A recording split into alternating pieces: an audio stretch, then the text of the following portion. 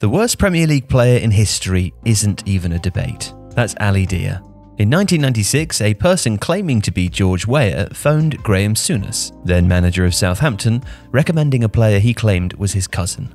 Weah was the reigning World Player of the Year at the time, and Southampton were fighting relegation. In desperate times, Souness decided to take a chance. It would take an injury crisis and a cancelled training game for the unproven Ali Dia, who was actually neither Weah's cousin nor a footballer who played for Senegal or Paris Saint Germain, to get on the bench for a game against Leeds.